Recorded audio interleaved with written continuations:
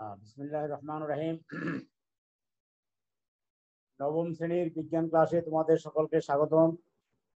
আশা করি সকলেই ভালো আছো এবং পরীক্ষার জন্য ভালোভাবে প্রস্তুতি নিচ্ছ।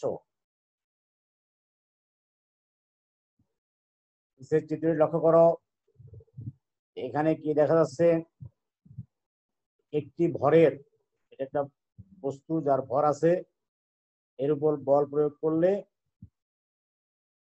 এই বস্তুটা কি হবে? ঘর্ষণের জন্য বিপরীত দিকে একটি বল প্রয়োগ করবে। বস্তু আহ, যেখানে সে ভর প্রয়োগ প্রয়োগ করতেছে সেখানে কি? সে বলও প্রয়োগ করতেছে। এবং এই যেখানে সে বল প্রয়োগ করতেছে বিপরীত দিক থেকে আরেকটা বল প্রয়োগ হবে। যেমন এখানে ঘর্ষণ প্রকৃতপক্ষে দুটি এবড়ো থেবড়ো পৃষ্ঠের কারণে তৈরি হয়। তাহলে আমাদের চলমান যে অধ্যায়, সেটা হলো এসো বলকে জানি। এর মধ্যে আমরা গত ক্লাসে কিছু আলোচনা করেছি, কিছু জিনিস আমরা পড়েছি। বিভিন্ন, আজকে আমরা বিভিন্ন প্রকার বলের প্রকৃতি, ব্যবহারিক জীবনে ঘর্ষণের সুবিধা, এগুলো আমরা আলোচনা করব এবং এখান থেকে পড়ার চেষ্টা করব। গত ক্লাসে আমরা বিভিন্ন প্রকার বল পড়েছি, মহাকর্ষ বল সবল নিউক্লিয় বল, দুর্বল নিউক্লিয় বল ইলেকট্রোম্যাগনেটিক বিদ্যুৎ চুম্বকীয় বল, এই চারটা বল সম্পর্কে আমরা গত ক্লাসে পড়েছি। আজকে আমরা যেটা পড়ব সেটা হলো ঘর্ষণ বল ফ্রিকশনাল ফোর্স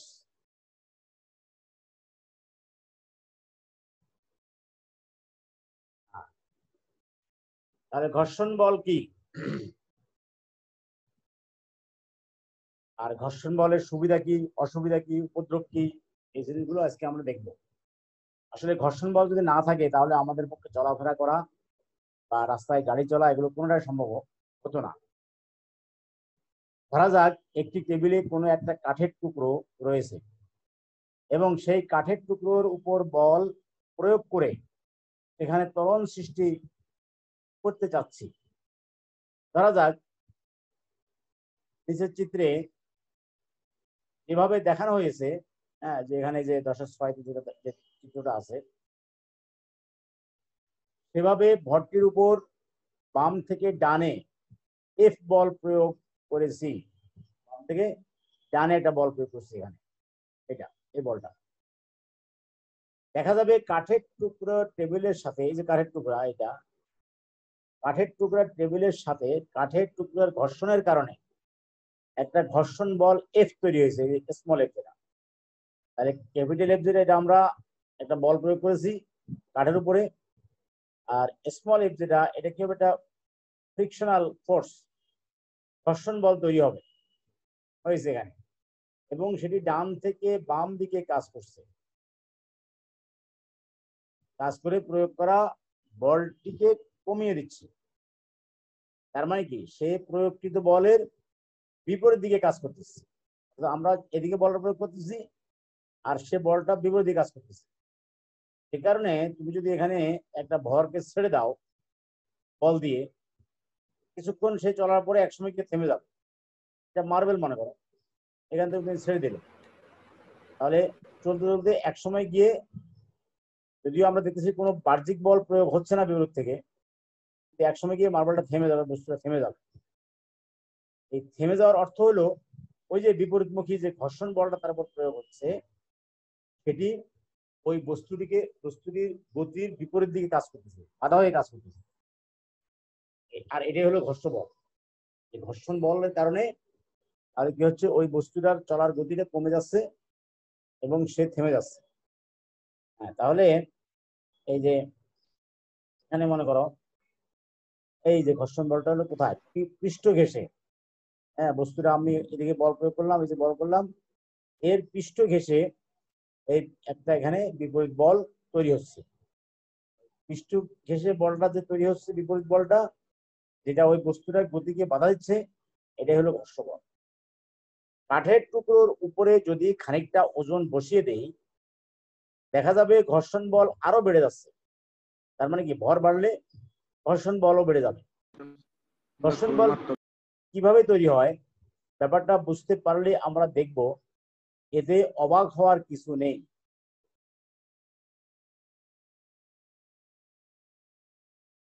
যদিও আপাত দৃষ্টিতে কাঠ, টেবিলকে কিংবা দুটো তলদেশের মাঝে ঘর্ষণ হচ্ছে, অনেক মসৃণ মনে হয়। কিন্তু অনুবীক্ষণ যন্ত্র দিয়ে দেখলে দেখা যাবে, সব তলদেশেই এবড়ো থেবড়ো এবড়ো থেবড়ো এবং আঁকা বাঁকা এবড়ো থেবড়ো অংশগুলো যখন একে অন্যকে স্পর্শ করে এবং খাসগুলো একে অন্যের সাথে আটকে যায়, খাসগুলো একে অন্যের সঙ্গে আটকে যায় আটকে যায়, সেটার কারণেই গতি বাধাপ্রাপ্ত হয়। এবং আমরা বলি বিপরীত দিক থেকে ঘর্ষণ বল জন্ম হয়েছে। আমরা কি বলি? বিপরীত দিক থেকে ঘর্ষণ বলের জন্ম হয়েছে। তাহলে ব্যাপারটা কি ঘটলো?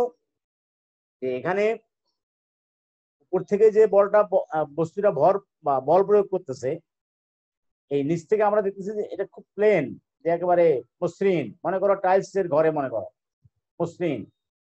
কিন্তু আসলে যদিও মসৃণ, কিন্তু আমরা যদি অনুবীক্ষণ যন্ত্র দিয়ে দেখি, দেখা যাবে যে টাইলসের উপরেও এবড়ো থেবড়ো অনেকগুলো অনু পরমাণু এবড়ো থেবড়ো আছে।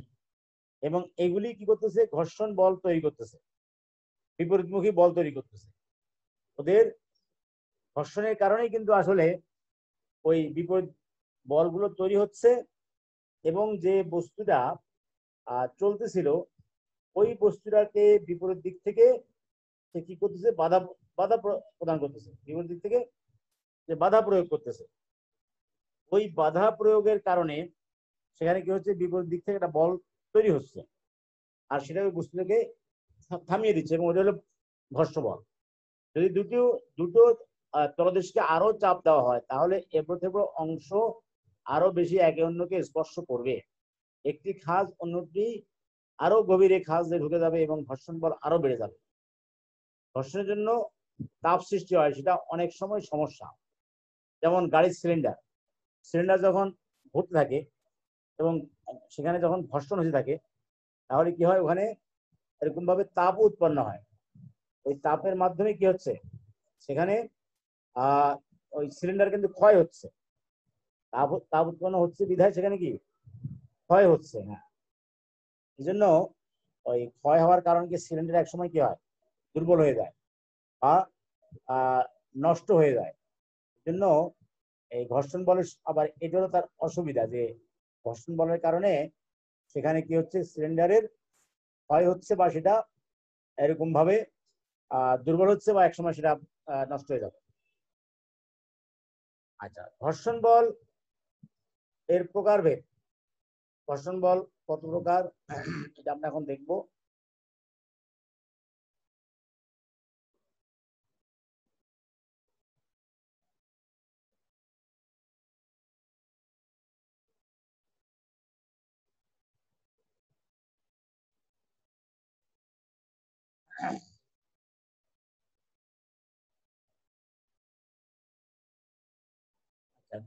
ঘর্ষণ বলের প্রকারভেদ, ঘর্ষণ, ঘর্ষণকে চার ভাগে ভাগ করা যায়। কয় ভাগে?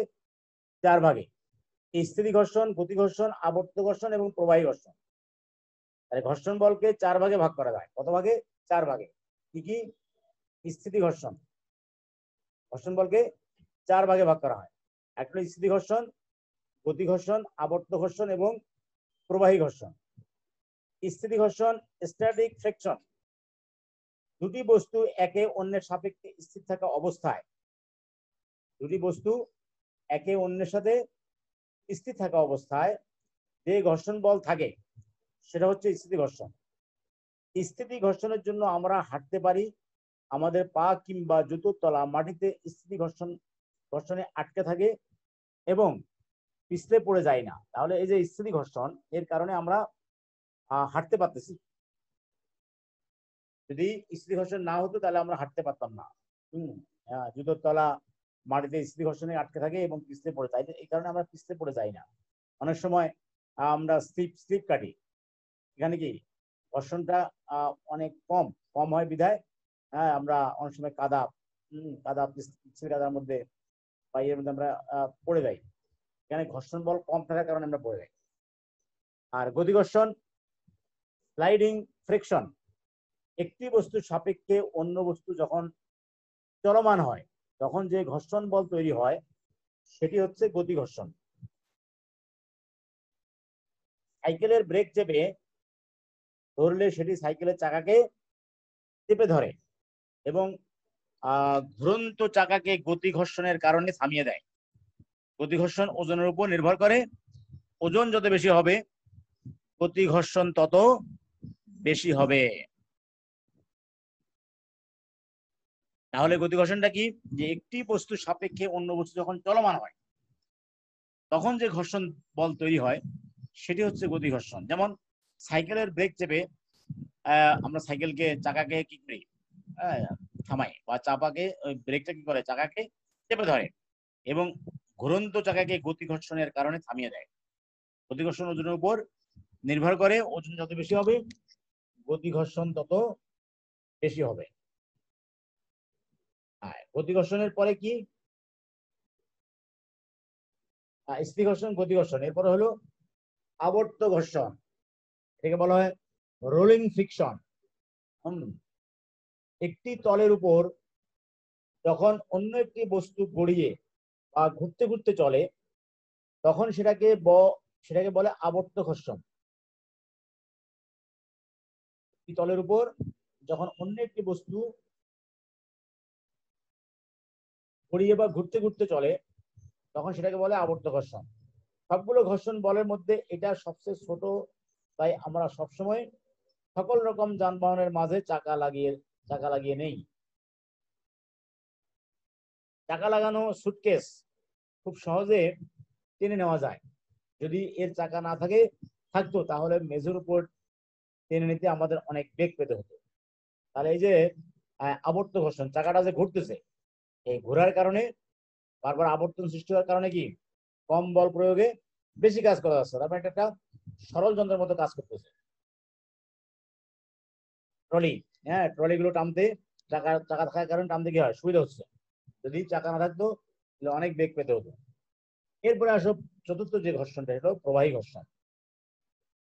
একে বলা হয় ফ্লুইড ফ্রিকশন ফ্লুইড ফ্রিকশন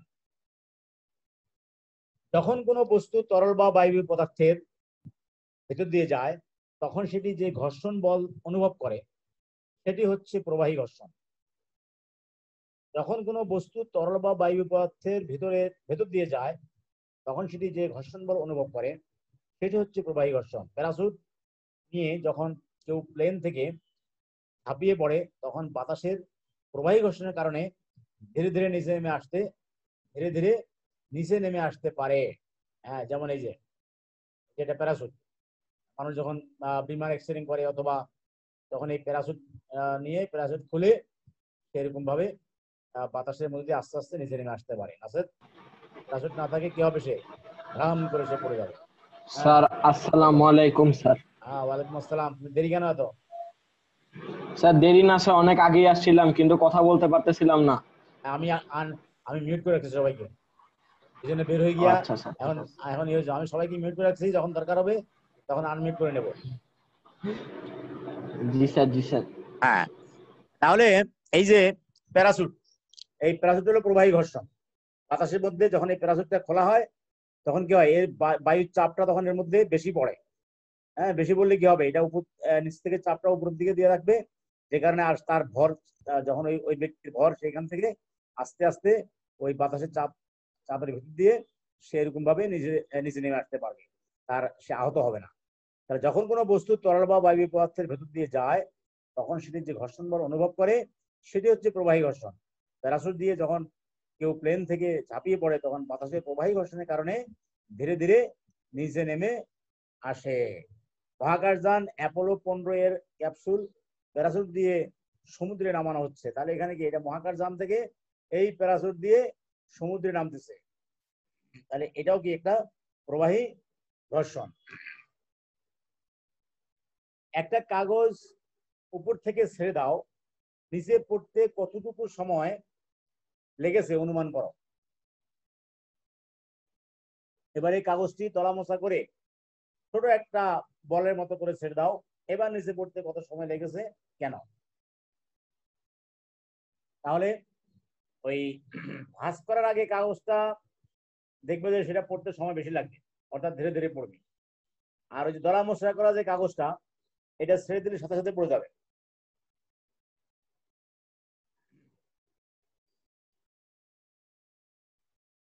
কারণ কি? কারণ হলো যে পাতলা যে কাগজটা, ওর মধ্যে প্রবাহী ঘর্ষণটা বেশি হচ্ছে। এ কারণে সেটা আস্তে আস্তে নামতেছে। আর দলা মশলা করা যে কাগজটা, ওটার মধ্যে প্রবাহী ঘর্ষণ কম হচ্ছে। এ কারণে সেটা খুব তাড়াতাড়ি নিচে নেমে যাচ্ছে। স্থিতি ঘর্ষণ এবং গতি ঘর্ষণ একটি কাজ। কয়েকটা ম্যাচের খালি বাক্স নাও। সেগুলোর ভিতরে মাটি ভরে বাক্সগুলো খানিকটা ভারী করে নাও। এবারে একটা বইয়ের উপর ম্যাচ বাক্সটা রেখে বইটা ঢালু করতে থাকো। স্থিতি ঘর্ষণের কারণে ম্যাচটি গড়িয়ে যাবে না। হ্যাঁ ওখানেই বসে থাকবে। তবে একটা নির্দিষ্ট কোণে লা, কোণে গেলে ম্যাচ বাক্সটা গড়িয়ে পড়তে শুরু করবে। এই অবস্থায় ম্যাচ বাক্সের গতি ঘর্ষণ কার্যকর হতে শুরু করেছে। একটা ম্যাচ বাক্সের উপর আরও একটি বা কয়েকটি ম্যাচ বাক্স রেখে পরীক্ষাটি আবার করো। দেখবে প্রতিবার তুমি একই ফলাফল পাবে। একাধিক ম্যাচ ম্যাচ বাক্স রেখে তুমি ওজন বাড়িয়ে গতি ঘর্ষণ বাড়িয়ে দিচ্ছ, কিন্তু ঢালু করার সময় একই মাত্রায় ঢালের দিকে বলটি বেড়ে যাচ্ছে বলে ফলাফলের পরিবর্তন হচ্ছে না। তার মানে ওই যে ম্যাচের বাক্সে যখন মাটি ভরেছে, ওটা ভারী হয়েছে। খালি বাক্স হলে এটা পড়বে না, ওই জায়গায় আটকে থাকবে। তো যদি বইটাকে তুমি আস্তে আস্তে অল্প হেলানো তলের মতো করো। তোমরা ক্লাস এইটে শিখছো হেলানো তল। হেলানো তলের মতো করো। তো দেখবে যে এক সময় ওটা যে বসে আছে ম্যাচের বাক্সটা মাটি ভরা বাক্সটা একটা নির্দিষ্ট কোণে যখন আসবে, তখন আর ওটা ওখানে স্থির থাকবে না। যতক্ষণ সে স্থির ছিল ওটা স্থিতি ঘর্ষণ স্থিতি ঘর্ষণের কারণে কিন্তু সেটা স্থির হয়েছিল কিন্তু যখন নির্দিষ্ট কোণে চলে আসবে, অর্থাৎ ওটাকে হেলানো তলটাকে আমরা আরও খাড়া করব, তখন কি হবে? হেলানো তলটাকে যখন খাড়া করব তখন কি হবে? ওটা ওই হেলানো তলটা যখন খাড়া হয়ে যাবে, এবার একটা নির্দিষ্ট কোণে আসবে, ওই ম্যাচ বাক্সটা কি হবে আস্তে আস্তে গড়িয়ে নিচে পড়ে যাবে। বা যেটা তুমি কয়েকবার করো, একই ফল পাবে এবং কয়েকটা নিয়ে করো, একই ফল পাবে। তো এখানে একাধিক ম্যাচ বাক্স রেখে তুমি যদি ওজন বাড়িয়ে স্থিতি ঘর্ষণ বাড়িয়ে দিচ্ছ, কিন্তু ঢালু করার সময় একই মাত্রায় ঢালের দিকে বলটি বেড়ে যাচ্ছে বলে ফলাফলে পরিবর্তন হচ্ছে। তার মানে কি? কেউ একাধিক ম্যাচ বাক্স রাখার কারণে স্থিতি ঘর্ষণ বেড়ে গেছে। যখন আমি কাত করতেছি বা খাড়া করতেছি ওই তলটাকে, তখন কিন্তু ওইটার ওই আবার গতি ঘর্ষণটাও বেড়ে যাচ্ছে। যে কারণে ওই কি হবে? ওই কোণে নির্দিষ্ট কোণে আসলে সেটা কি হবে? গতি ঘর্ষণের কারণে সে আবার নিচের দিকে পড়ে যাবে। সুতরাং ফলাফল একই হবে। আমরা আগেই বলেছি, ঘর্ষণ বল সবসময় প্রয়োগ করা বলের বিপরীত দিকে কাজ করে। ঘর্ষণ বল কি করে? প্রয়োগ করা বলের বিপরীত দিকে কাজ করে। হ্যাঁ রিয়াকশন ফোর্স এটা একটা হলো অ্যাকশন ফোর্স এটা হলো রিয়াকশন ফোর্স সেজন্য স্বাভাবিকভাবেই ঘর্ষণ বল গতিকে কমিয়ে দেয়। ঘর্ষণ বল কি করবে? গতিকে কমাবে। এবং আমাদের ধারণা হতে পারে, আমরা সর্বক্ষেত্রে বুঝি ঘর্ষণ কমানোর চেষ্টা করি, কিন্তু সেটি সত্য নয়। তোমরা নিশ্চয়ই কখনো না কখনো কাদার মাঝে কোনো গাড়ি বা ট্রাককে আটকে যেতে দেখেছ। তখন গাড়ির চাকা ঘুরলেও ঘর্ষণ বল কম বলে কাদা থেকে গাড়ি বা ট্রাক উঠে আসতে পারে না। চাকা পিছলিয়ে যায়। তখন গাড়ি বা ট্রাকটিকে তুলে আনার জন্য অন্যভাবে চাকা এবং কাদার মধ্যে ঘর্ষণ বাড়ানোর চেষ্টা করা হয়। যেমন চাকার নিচে ইট দেওয়া হয়, হম, ইটের টুকরা অথবা শক্ত মাটি, এগুলো দিলে কি হবে? তখন চাকাটা ওই ঘর্ষণ বলটা কি হবে কমবে তখন। বা ইয়ের মধ্যে কাদামাটির মধ্যে ঘর্ষণ বলটা কি? এরকম বেশি ছিল। যে কারণে ওটা কি হতো না? না, ঘর্ষণ বল ছিল, কম ছিল সেখানে। কারণে ওটা বাড়তো না। গাড়ির চাকা খালি ঘুরতেছে, উঠতেছে না। যখন সে তা- ওর নিচে ইয়ে দেওয়া হবে মাটি অথবা ইট দেওয়া হবে, তখন কি হবে? ওই গাড়ির চাকাটা ঘুরবে। গাড়ির চাকাটা ঘর্ষণ বলটা বেড়ে যাবে। বেড়ে যাওয়ার কারণে কি হবে? সে চাকাটা তখন উঠে আসবে। অর্থাৎ নিজে সে সাপোর্ট পাবে। সাপোর্ট না পাইলে ওই গাড়ির চাকা ঘুরতেই থাকবে, কিন্তু উঠবে না সে। সুতরাং এখানে ঘর্ষণ বলটা করা হয়। বাড়ানো হয়। তো ঘর্ষণ বল বাড়ানো বা কমানো, এই বাড়ানো কমানোর মধ্যে কি করা হয়? আমরা এর মাঝে এর মাঝে জেনে নেই, জেনে গেছি যে আমাদের প্রয়োজনে ঘর্ষণকে কখনো বাড়াতে হয়, কখনো কমাতে হয়। কি করতে হয়? যেমন এই যে গাড়ি তোলার জন্য আমরা কি ঘর্ষণ বলকে বাড়িয়ে দিয়েছে জন্য ঘর্ষণ বলকে কখনো বাড়াতে হয়, আবার কখনো কমাতে হয়। আবার গাড়ি খুব দ্রুত চলার জন্য রোডকে পিচ্ছিল করতে হয় তখন কি ঘর্ষণ বল কম থাকে যাতে গাড়ি দ্রুত যেতে পারে। এখানে আবার ঘর্ষণ বলকে কমানো হয়। তাহলে কখনো কমানো, কখনো বাড়ানো। তাহলে ঘর্ষণ বল কমানো, কখন কমানো হয়? ঘর্ষণ কমানোর জন্য আমরা যেসব কাজ করি, সেগুলো হচ্ছে কি কি? এক, যে পৃষ্ঠটিতে ঘর্ষণ হয়, সেই পৃষ্ঠটিকে যত সম্ভব মসৃণ করা। মসৃণ পৃষ্ঠে গতি ঘর্ষণ কম। মসৃণ পৃষ্ঠে কি? গতি ঘর্ষণ কম যে পিচ্ছিল রাস্তা একেবারে হ্যাঁ গাড়ি দ্রুত চলবে। এরপরে তেল, মোবিল বা গ্রিস জাতীয় পদার্থ হচ্ছে পিচ্ছিলকারী পদার্থ বা লুব্রিকেন্ট দুটি দলের মাঝখানে এই লুব্রিকেন্ট থাকলে ঘর্ষণ অনেকখানি কমে যায়। এটা কোথায় ব্যবহার করা হয়? বিশেষ করে পিস্টনে, গাড়ির যে পিস্টন আছে। এই পিস্টনের ক্ষয় যাতে কম হয়, এই জন্য সেখানে এই যে গ্রিজ অথবা পিচ্ছিলকারী মোবিল অথবা লুব্রিকেন্ট ব্যবহার করা হয়। যাতে করে ওই পিস্টনটা স্মুথলি ঘুরতে পারে, ঘর্ষণটা কম হয়। তাহলে কি হবে? সেটা ক্ষয় কম হবে। চাকা ব্যবহার করে ঘর্ষণ কমানো যায়। চাকা ব্যবহার করা হলে বড় গতি ঘর্ষণের পরিবর্তে অনেক ছোট আবর্ত ঘর্ষণ দিয়ে কাজ করা যায়। আমরা আবর্ত ঘর্ষণে দেখেছি। ঘুরন্ত জায়গাতে বল বিয়ারিং ব্যবহার করে সরাসরি ঘর্ষণের বদলে ছোট স্টিলের বলগুলো, বলগুলোর আবর্তন ঘর্ষণের সাহায্যে ঘর্ষণ অনেক কমানো সম্ভব। হ্যাঁ বিয়ারিং হ্যাঁ বিয়ারিং এর ভিতরে গ্রিজ দেওয়া হয়। কারণ কি? ওই যে ছোট ছোট বলগুলো, যাতে এগুলো ছোট ছোট ঘর্ষণ কমিয়ে যাতে গতি বৃদ্ধি করতে পারে। গাড়ি বিমান এ ধরনের দ্রুতগামী যানবাহনের ডিজাইন এমন ভাবে করা হয় যেন বাতাস ঘর্ষণ তৈরি না করে স্ট্রিম লাইন করা পৃষ্ঠদেশের উপর দিয়ে যেতে পারে। হ্যাঁ প্লেনের ডিজাইন এমন ভাবে করা হয়। যাতে বাতাসে ঘর্ষণটা কম হয়। বাতাসে ঘর্ষণ অনেক কিন্তু অনেক সময় এটা পুড়ে যেতে পারে। হ্যাঁ এবং এটা গতি, যানবাহনের গতি যখন বাড়ে, তখন আর ঘর্ষণটাও বেড়ে যায়। কিন্তু কি করা হয়? এমনভাবে তৈরি করা হয় যাতে, বিশেষ করে রকেট। হ্যাঁ রকেট এমনভাবে তৈরি করা হয় যাতে করে কি হয়? ওখানে ঘর্ষণ কম হয় বাতাসের সাথে। হ্যাঁ তৈরি করা হয়। এবং এই ম্যাটেরিয়ালসগুলো ওইভাবে তৈরি, ওইভাবে বানানো হয়। যে দুটি পৃষ্ঠদেশে ঘর্ষণ হয় তারা যদি খুব অল্প জায়গায় একে অন্যকে স্পর্শ করে তাহলে ঘর্ষণ কমানো যায়। যেখানে ঘর্ষণটা হবে পৃষ্ঠদেশে। তারা যদি খুব অল্প জায়গায় একে অন্যকে স্পর্শ করে মানে ছোট ছোট স্পর্শ করে তাহলে ঘর্ষণ কি হবে? কমে যাবে। আমরা দেখেছি ঘর্ষণরত দুটি পৃষ্ঠ বল প্রয়োগ করা হলে ঘর্ষণ বেড়ে যায়। কাজেই লম্বভাবে আরোপিত বল কমানো হলে ঘর্ষণ কমানো যায়। কারণ বল যখন লম্বভাবে পড়বে তখন ঘর্ষণটাও কম হবে। আর বল যদি সমান্তরালভাবে পড়ে, তাহলে কি ঘর্ষণ বল বেড়ে যাবে? এ গেলেও আমরা ঘর্ষণ বল কীভাবে কমানো যায়, সেটা আমরা দেখলাম। এবার আমরা দেখব ঘর্ষণ বল কীভাবে বাড়ানো যায়, অর্থাৎ ঘর্ষণ বল বাড়ানো। ঘর্ষণ কমানোর জন্য যে প্রক্রিয়াগুলো করা হয়, সেগুলো করা না হলে কিংবা তার বিপরীত কাজগুলো করা হলেই ঘর্ষণ বেড়ে যায়। তাই ঘর্ষণ বাড়ানোর জন্য আমরা যেসব কাজ করি, সেগুলো হচ্ছে এক যে দুটি তলে ঘর্ষণ হচ্ছে, সেগুলো অমসৃণ বা খসখসে করে তোলা। মসৃণ তল হলে কি হবে? ঘর্ষণ কম হবে। আর খসখসে বা এবড়ো থেবড়ো হলে সেখানে ঘর্ষণ বেশি হবে। তাহলে এটাকে অমসৃণ বা খসখসে করা। দুই, যে দুটি তরল তলে ঘর্ষণ হয়, সেগুলো আরও জোরে চেপে ধরার ব্যবস্থা করা। হুম টাইটলি ধরা। তাহলে কি হবে? ঘর্ষণ বল বেড়ে যাবে। ঘর্ষণরত তল দুটির মাঝে গতিকে থামিয়ে স্থির করে ফেলা। কারণ স্থির ঘর্ষণ গতি ঘর্ষণ থেকে বেশি। স্থির ঘর্ষণ কি? গতি ঘর্ষণ থেকে বেশি। তাহলে কি? এরকম ভাবে সেটা ঘর্ষণ বাড়বে, গতি কমে যাবে। চার, ঘর্ষণরত তলের মাঝে খাস কাটা বা ঢেউ খেলানো ঢেউ খেলানো করা। তাহলে এটি তলদেশকে জোরে আঁকড়ে ধরতে পারে। পানি বা তরল থাকলে সেটি হাজে ঢুকে গিয়ে পৃষ্ঠদেশের ঘর্ষণে ঘর্ষণ বাড়াতে পারে। এভাবে ঘর্ষণ বাড়ানো যায়। বাতাস বা তরলের ঘনত্ব বাড়ানো। বাতাসের ঘনত্ব তত বাড়বে, তরলের ঘনত্ব তত বাড়বে, ঘর্ষণও তত বাড়বে। বাতাস বা তরলে ঘর্ষণরত পৃষ্ঠদেশ বাড়িয়ে দেওয়া।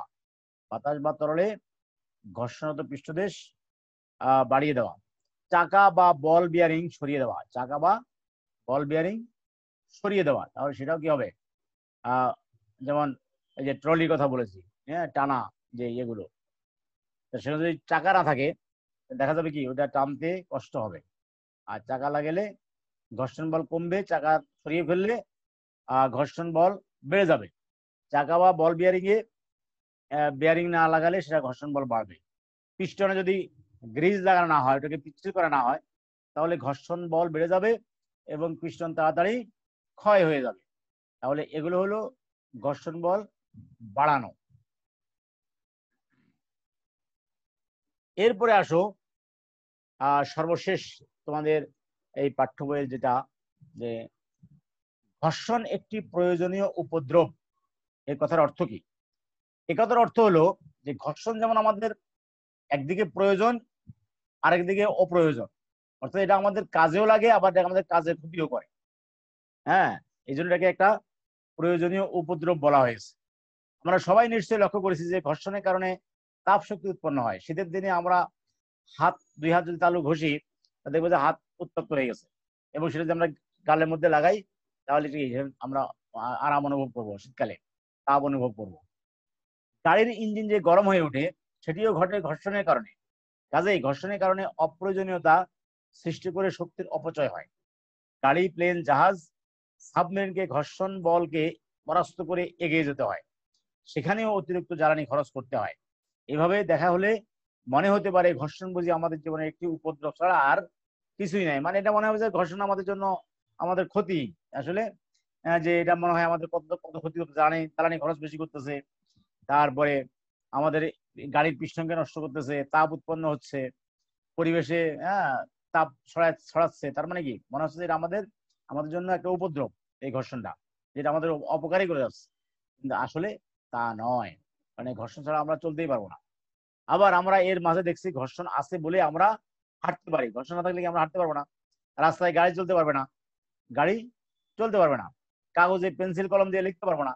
এই যে আমরা লিখতে পারি, গাড়ি চলতে পারি, হাঁটতে পারি, দালান গড়ে তুলতে পারি হ্যাঁ প্যারাসুট দিয়ে নিরাপদে নিচে নামতে পারি। আমরা এ ধরনের অসংখ্য উদাহরণ দিতে পারি। এখানে ঘর্ষণ না থাকলে আমরা আমাদের প্রয়োজনীয় কাজগুলো করতে পারতাম না। হ্যাঁ কাজেই ঘর্ষণকে উপদ্রব মনে করা হলেও আমাদের মেনে নিতে হবে। এটি আমাদের জীবনের জন্য খুবই প্রয়োজনীয় একটি উপদ্রব এবং এটি আমাদের জীবনের জন্য খুবই প্রয়োজন। এটা না হলে কি হবে না? আমরা চলতেই পারব না। এই জন্য বলা হয়েছে কি, ঘর্ষণ একটি প্রয়োজনীয় উপদ্রব। হম, ঘর্ষণ একটি প্রয়োজনীয় উপদ্রব যে ঘর্ষণ না হলে আমরা চলতে পারব না। তাহলে একদিকে ঘর্ষণ ঘর্ষণ না হলে কি হবে না আমরা চলতে পারব না। আরেকদিকে ঘর্ষণ হলে আমাদের এই এই সমস্যাগুলো হয়। সুতরাং সব দিকে থেকেই আমাদের কি একটা প্রয়োজনীয় উপদ্রব হিসেবে আমরা এটাকে দেখতেছি। আচ্ছা এখন আমি তোমাদেরকে আনমিউট করতেছি। তোমাদের যদি কারও কোনো প্রশ্ন থাকে, তাহলে সেটা তোমরা এখন করতে পারো। যে কোনো, বুঝতে কোনো অসুবিধা হলে কোথাও কোনো, এটা এখন তোমরা আমাকে প্রশ্ন করতে পারো।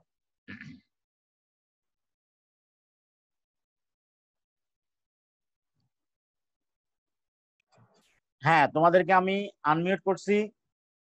যে পর্যন্ত পড়ানো হলো, এটা তোমাদের কোনো বুঝতে অসুবিধা আছে কিনা, তোমরা এখন সেটা বলতে পারো। তোমরা আনমিউট হও। যে কথা বলতে চাও আনমিউট হও। স্যার বুঝতে কোনো সমস্যা নাই স্যার। আচ্ছা আর আর কারও কোনো সমস্যা হয়েছে বুঝতে? No sir. বুঝতে সমস্যা হয় নাই। আচ্ছা যদি সমস্যা না হয়ে থাকে তাহলে এবার আমি তোমাদেরকে প্রশ্ন করি। আচ্ছা নাজিম বলো যে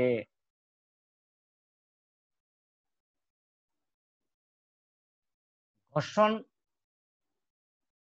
কমানো যায় কীভাবে?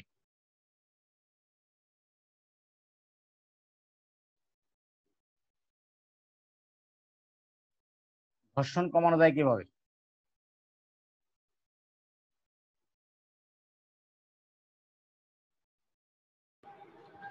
বল বেয়ারিং লাগিয়ে দিয়ে। বল বেয়ারিং আর? হ্যালো গ্লিসারিন তারপরে গ্রিজ তেল তেল দিয়ে তেল মোবিল হ্যাঁ তেল মোবিল এগুলো যদি আমরা পিস্টনে বা এরকম ইয়েতে লাগাই তাহলে কি হবে? ঘর্ষণ কমবে। হ্যাঁ। মোর্শেদ বলো এবার। ঘর্ষণ বাড়ানো যায় কীভাবে? আমি তো অ্যান্সার দিলাম আমি তো অ্যান্সার দিলাম। নাজিম তো সে উত্তরই দেয়নি। নাজিম উদ্দিন এবার নাজিম। নারে নাফিস ঘর্ষণ কীভাবে বাড়ানো যায়?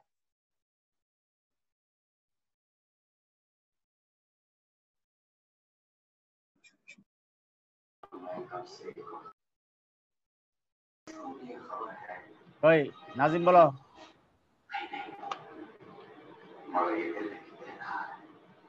ঘর্ষণ কীভাবে বাড়ানো যায়? এ গান ছাড়ছে থেকে স্যার আমার ব্যাকগ্রাউন্ডে গান বাজতেছে স্যার আমি কিছু করতেছি না কিন্তু। ব্যাকগ্রাউন্ড আবার গানও বাজায় হ্যাঁ। মানে স্যার আমার আছে আচ্ছা নাফিস শাহরিয়ার বলো।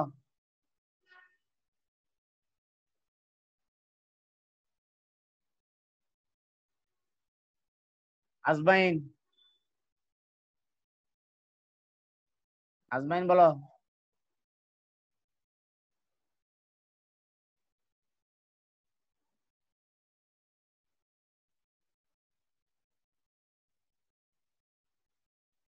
ঘর্ষণ বাড়ানো।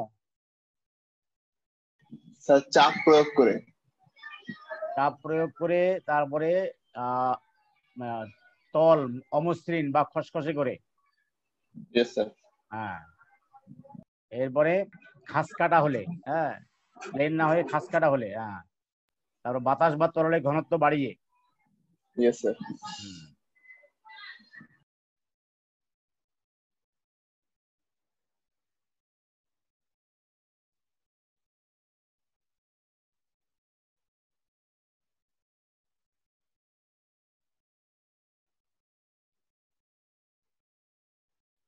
প্রবাহী ঘর্ষণ দিয়ে কি কাজ করা হয়? কে বলতে পারবে এটা?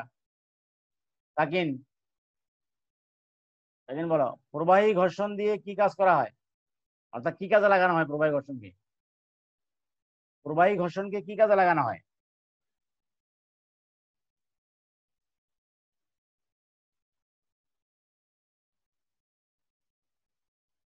বলো। তাকিন বলো। স্যার হ্যাঁ বলো। প্লেন থেকে স্যার নামার সময় স্যার কি ব্যবহার করা হয়? ওটা ওটার নাম কি? প্যারাশুট স্যার প্যারাসুট হ্যাঁ। প্লেন থেকে আহ, লাফ দিয়ে প্যারাসুট প্যারাসুট দিয়ে এখানে প্রবাহী ঘর্ষণের কারণে ধীরে ধীরে ধীরে ধীরে হ্যাঁ। নিচে নামে। নিচে নামতে পারেন। যদি প্রবাহী ঘর্ষণ না থাকতো তাহলে সে আহ, দ্রুত নেমে মানে দ্রুত নেমে পড়ে যেত আর কি। ঘর্ষণ হ্যাঁ। প্লেন থেকে তো সার্ফবোর্ড দেওয়া নামে। হুম। অনেক সময় যে গেরিলা যুদ্ধে বা ইয়ে বিমান থেকে নামতে হয়। বিভিন্নখানে বিভিন্ন পাহাড়ে নামতে হয়। তখন তারা এই প্যারাসুট দিয়ে সেখানে এইভাবে নামে। আচ্ছা।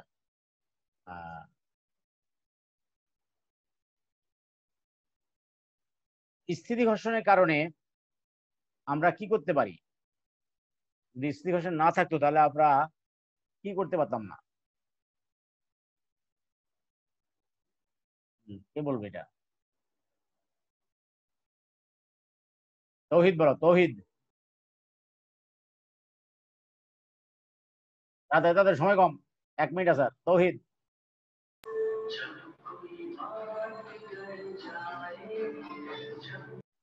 তৌহিদ কি শুনতে পারতেছো? আচ্ছা রেদওয়ান বলো রেদওয়ান স্যার প্রশ্নটা একটু আরেকবার বলেন স্যার। প্রশ্নটা হলো স্থিতি ঘর্ষণের সুবিধা বা স্থিতি ঘর্ষণ না থাকলে আমরা কি করতে পারতাম না? স্যার প্লেন থেকে নামতে পারতাম না। সুটকেস না না না হলো না। স্থিতি ঘর্ষণ কি প্লেন স্থিতি ঘর্ষণ স্থিতি পারতাম না স্যার। স্থিতি ঘর্ষণ না হলে আমরা হাঁটতে পারতাম না হ্যাঁ। বা গাড়ি চালাতে গাড়ি চালাতে পারতাম না। স্থিতি ঘর্ষণ না হ্যাঁ, থাকলে হ্যাঁ। ওকে তাহলে তোমাদের যেগুলি পড়ানো হলো এগুলো ভালো করে পড়ে ফেলবা। আর আগামী ক্লাসে এই আমরা নৈর্ভিত্তিক নৈর্ভিত্তিকের উপরে তোমাদের ক্লাস নেব। Okay sir okay thank you আসসালামু আলাইকুম। ওয়া আলাইকুম আসসালাম।